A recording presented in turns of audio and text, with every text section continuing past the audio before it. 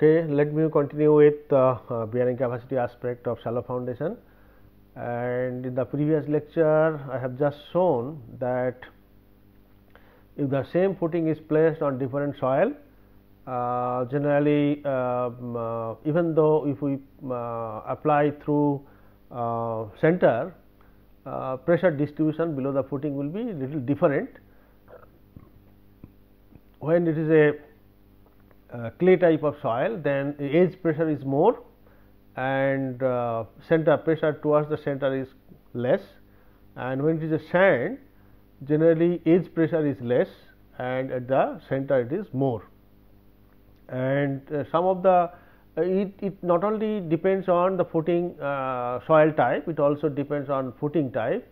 And sometimes it is a large footing flexible footing uh, placed on any soil. Generally uh, settlement will be in the middle will be more and at the edge will be less, but surprisingly generally uh, pressure below the footing will be uniform.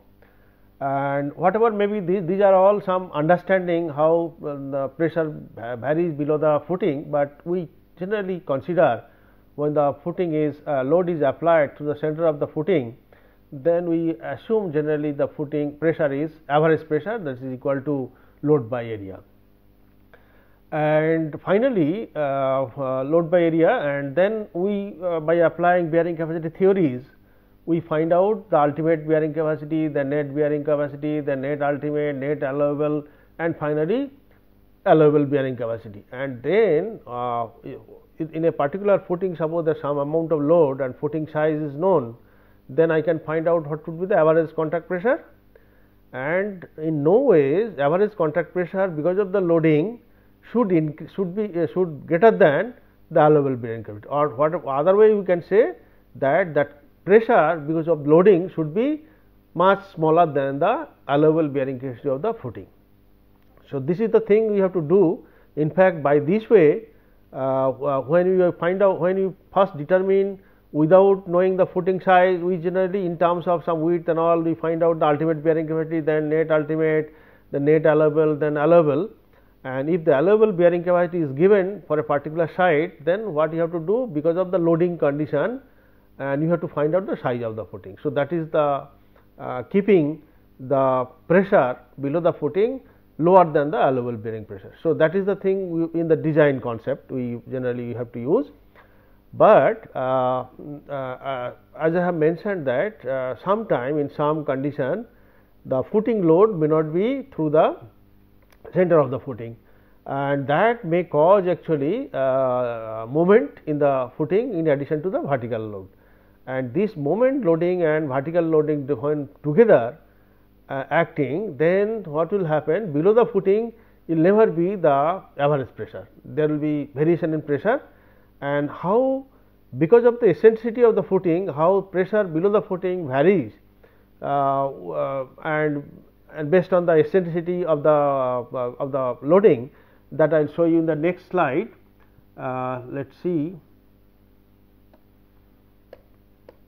You can see this uh, if this is the width of the footing, if this is the width of the footing, this is the width of the footing and you can see suppose loading was somewhere here, loading was somewhere here and then uh, I can imagine uh, at the center there is a the same load in addition to this this load multiplied by this eccentric distance as a moment. So, I, I, I, I can modify this one to in this form. So, initially suppose this thing was not there only this loading was there and this loading can be visualized as equivalent to a loading at the center and in a moment. So, that means I can assume that eccentrically loaded footing is uh, idealized like this a moment in the moment at the uh, around the axis and a vertical load through the center. And depending upon the value of E and E can E can see you can see E less than this I will come later on when E less than B by 6 then pressure distribution below the footing will be like this one side will be pressure will be high one side pressure will be less and in between it will be linear variation. And if the E exactly equal to B by 6, then your one side contact pressure become 0 and one side contact pressure is quite, large. And if your E become greater than B by 6, then you can see one side pressure become quite large and other side actually it become tension actually it will become uh, it is it is upward and this side will be downward and downward that that means the between the soil and foundation there is a tension and generally soil cannot take tension there will be separation will take place this situation should not be arise generally. So, you have to make sure that this type of situation will not occur. So, that has to that actually in the design process you have to make sure that and if it happens then we ignore generally this portion and we consider only this portion is loaded and area of this and the loading has to be equated in such a way and accordingly you have to find out what should be the maximum value of pressure or load can be applied. So, that will come later on. So, that means uh, because of the eccentricity of the loading the pressure distribution below the footing will be different. Uh, it will not be uniform throughout the length. When it is E eccentricity is less than b by 6 the 1 sixth of the width then one side will be maximum one side will be minimum and there will be linear variation between this. And when E exactly equal to b by 6 1 sixth of the width of the footing then one side will be high value one side will be 0 and in between linear distribution. And when E become b by 6 it will become 0 pressure at some uh, uh, location of the footing beyond that this will be tension and tension should be ignored because we uh, soil cannot take any tension and so that point to be taken as 0 and this point to be taken as maximum value and in between is a linear variation. So, these are the uh, different types of pressure distribution below the footing is uh, below the footing can be visualized because of the eccentricity of the loading.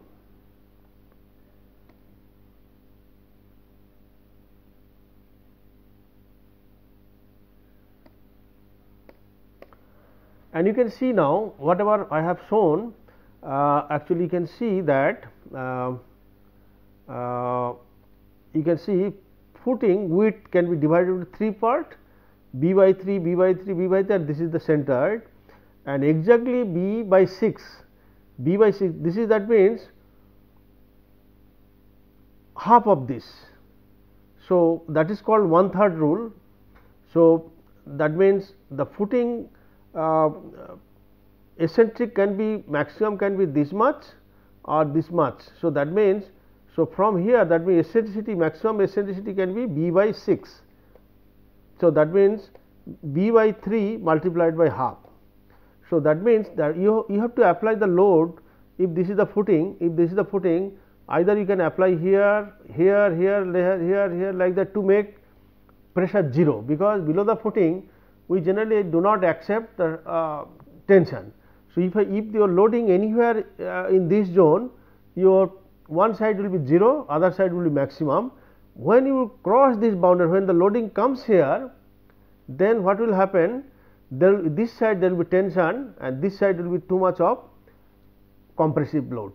So, that is the range actually b by 3, b by 3 if you can divide into 3 parts and so eccentricity should be within this zone that is what. So, b by 6 that means maximum b by 6. Since one third is b by 3, so, within this zone to be applied load to be applied and maximum eccentricity will be b by 6 because with respect to centroid. And if it is uh, uh, if you can keep uh, in general uh, uh, within this zone as I have shown in the previous figure the generalized pressure distribution is q minimum here and q maximum here and with any value of E in between this zone.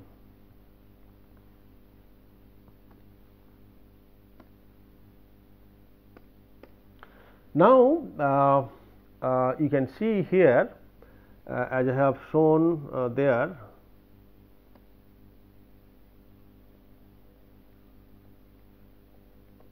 if this is the footing and this is the centroid load is applied here and this can be considered as a loading and one moment and suppose uh, your this is L and this is suppose B. So, uh, uh, you can see now uh, because of this uh, loading the two loading one because of this compressive load that suppose P this is suppose P and this is suppose M which equal to P multiplied by E if this distance is E and this is P. So, because of this uh, so Q at, at this point at this point Q will be because of this P first. So, P because of the P what will be the loading below this at this point uh, because of this loading P when it is passing through the center it will be throughout the length it will be P by L by B and uh, if I consider at this point since the moment direction is this then this when I consider this side it will be negative pressure and when I will consider at this point it will be positive pressure. So, because of that I can write the general plus minus. Suppose I want to find out at this point then it will be minus. And or if I want to find out here this will be plus. Then what will be the so the moment is acting with respect to this axis. And bending moment theory can be applied here. You know that your stress sigma will be equal to m y by i and m is known and y is here how much it will be b by 2. So, it will be ultimately m multiplied by b by 2 divided by i and since the footing is rotating with respect to this axis then you have to find out i y that i y this one. So, i y will become this become then base and this become height. So, this will be uh, L uh, b cube divided by 12. So, general equation is m y by i by i x and so, uh, so if I simplified if I simplify this this equation if I simplify this equation then I can uh, write once again uh, this is this will become um,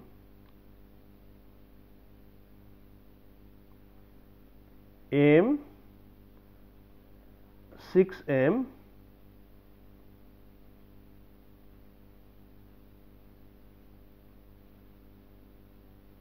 uh, 6 m by L b square. This become 6 m by L b uh, square and uh, this is again can be written as 6 multiplied by P multiplied by E by L b square and so P by L b if I take P by L b if I take out. So, first component was P by L b plus m y y by I x. This will be I y of course. Uh, so, uh, so this is P L b m y by I b and m y m y uh, into y by I x or, or I y. Uh, this is modified to 6 P L by L b square so, P by L b if I take out from here P by L b if I take out. So, it has come out here and then it, from P by L b if I take this become 1 and this become plus minus and you can see P is taken out L b square. So, it will be 6 times E divided by B will be left over. So, that is why. So, this equation if I modify accordingly then your equation when you use minus sign that become minimum cube because uh, uh, when the, because of this direction of moment uh, this side become moment because of moment pressure is negative and because of moment pressure is positive here. So, at this point there will be compressive pressure because of P. So, it is P by L b minus actually because of that m y m y into y by uh, x uh, uh, I y.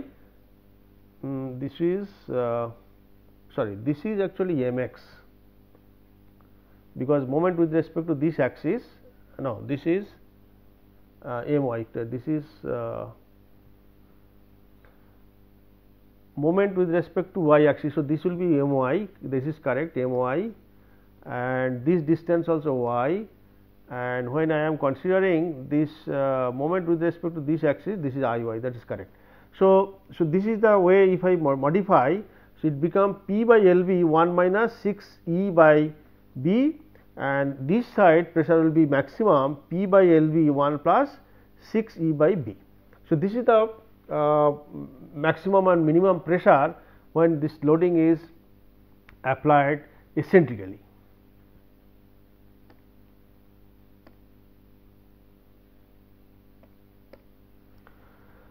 Now, we can see that as I have told you that uh, uh, it can be 0 also when uh, when E equal to uh, uh, uh, b by 6 that can be another condition can be modified, but when your footing is E is greater than b by 6 so, so this side the tension this side pressure is tension so to be ignored and to stable the footing. So, what you have to do? You have to imagine that centroid of this pressure and centroid of this footing should be same. So, to do that you can see here this is the eccentricity and this must be uh, b dash by 3 because the centroid of this triangle the centroid of this triangle will be here.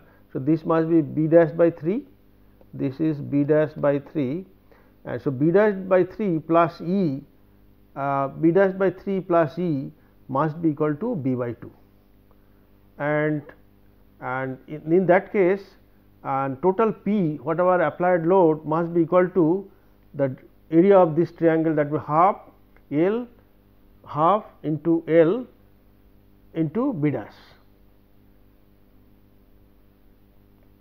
and so ultimately equating this you can find out maximum q will be equal to 2 p by 3 l into this. So, you have to while in the design stage that q should be allowed this much and this should be compared with the allowable bearing capacity of the footing.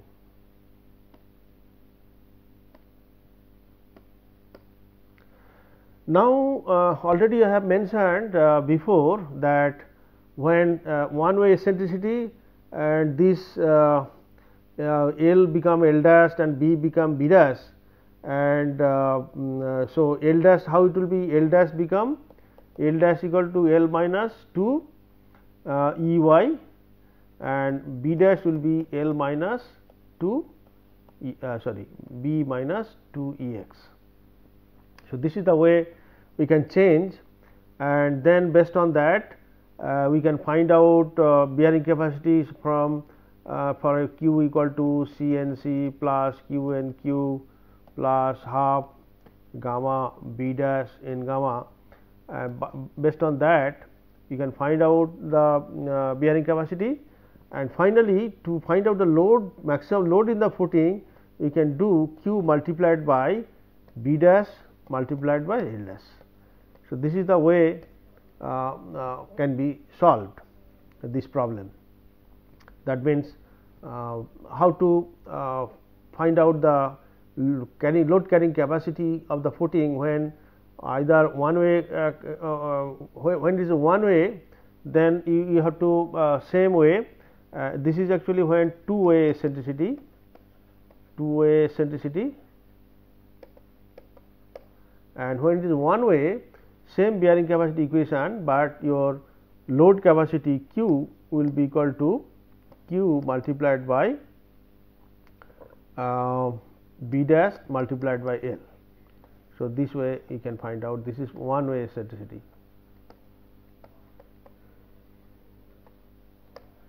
So, this is uh, this is the way one can uh, find out the loading in the footing, but if it is uh, this is the simple way, but in addition to that uh, similar to the one way eccentricity for two way eccentricity also we can do this way when uh, instead of uh, load acting here or here if it is here is one way eccentricity if it is here one way eccentricity, but the loading acting here that is two way eccentricity. So, the two way eccentricity in that case generalized equation for q will be something like this.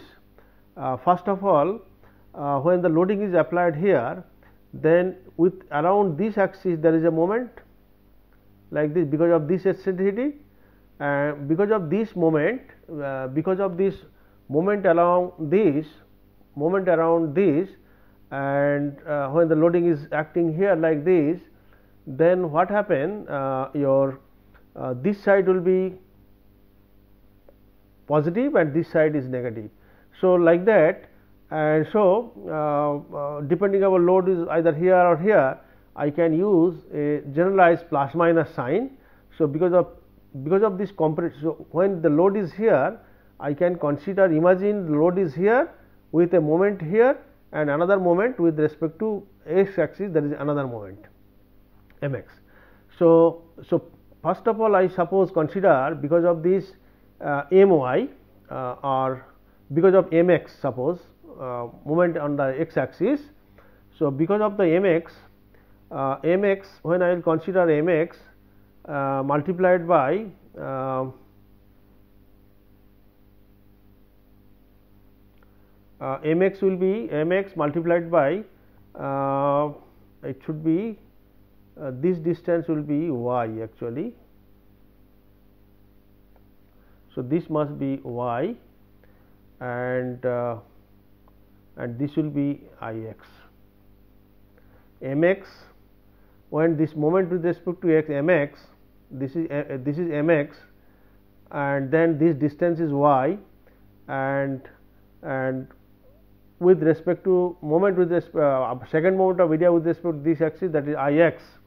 So, m x into y by i x and similarly when the loading is here then there will be moment with respect to y axis. So, this is m y same and when the m y I am considering that pressure at this point and this point its side is plus this side minus. So, I can use generalized sign plus minus and when I will take uh, uh, so, when I will take from here, so this distance become x. So, this is corrected this should be x actually. So, this will be m x and uh, and this will be uh, i y actually with respect to this uh, axis when a moment. So, this will be i y. So, uh, so so, that means three components will be there when the moment uh, load is acting uh, both way eccentric then it will you can imagine the load one central load and two couple one couple with respect to x axis another couple with respect to y axis and so because of the vertical load this is the pressure and because of the location of the uh, uh, loading it can be plus or minus. So, I have used so because of the moment around x axis what is the pressure I have added and because of the moment around y axis what is the pressure I have added. So, these three component will be there and m x will be m x will be equal to p multiplied by E y p multiplied by E y and m y will be p multiplied by E x. And then finally, similar to the one way eccentricity I can find out by expressing the I x and I y in terms of the L and B and maximum value of x and y by expressing in terms of half the length or half the width and simplify then q mi minimum reduces to a expression b by p by b l 1 minus 6 e x by l minus 6 y by b and so q maximum when it will be plus. So, uh, you can see I x when I will uh, use this one let me uh, show this one how it coming how it is coming m x actually your Uh, uh, this part I will just do. M x is actually your p multiplied by uh, E y. And this y become your y become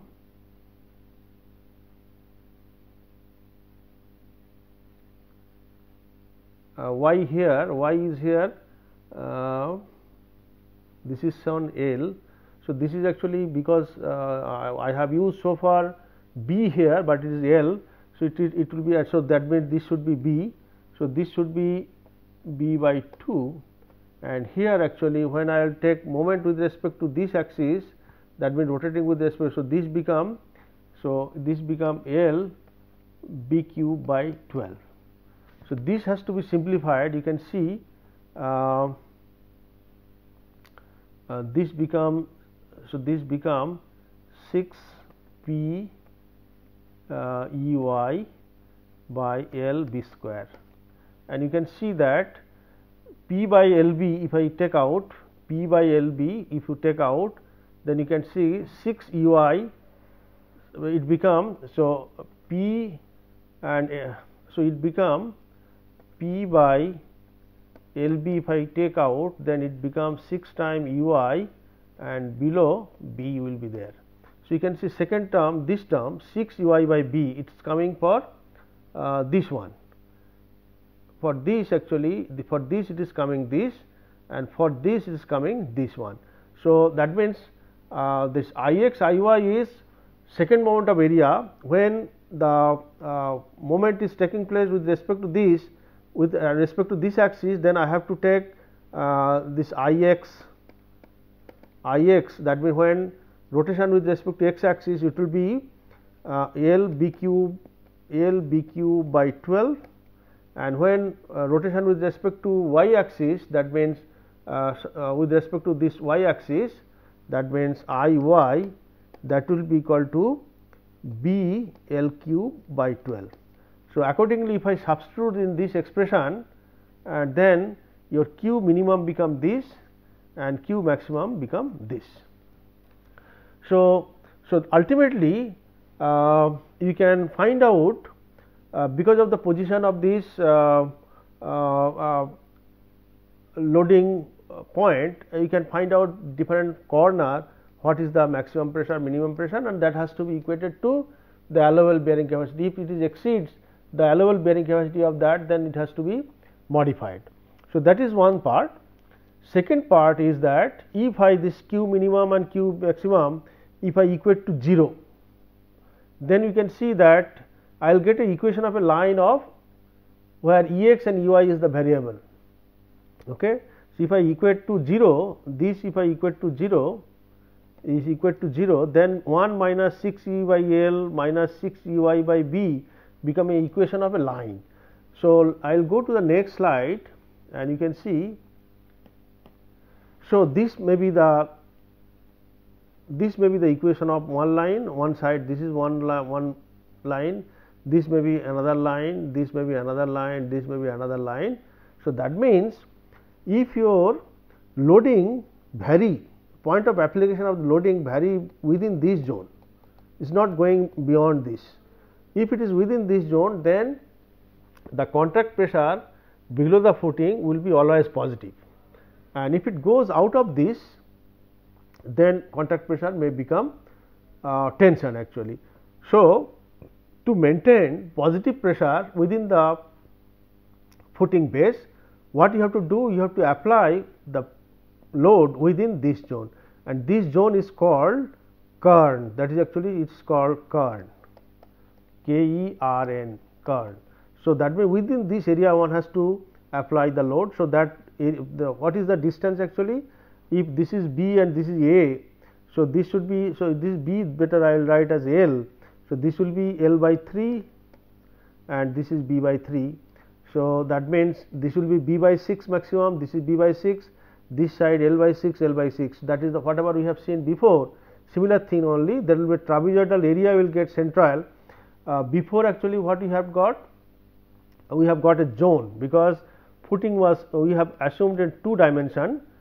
So, we have got a zone similarly uh, we have got this is zone when I am considering similarly when I consider with respect to this this is the zone. So, when you do two zone then I will get a trapezoidal area this is the rhombus actually in fact. So, that will L by 6 from here L by 6 from here similarly B by 6 from here B by 6 from here if I join them then we will get a kern that actually that means the area within which if you apply the load then pressure with below the footing will be always positive. So, and that has to be maintained generally for our design. So, with this uh, I will stop here thank you.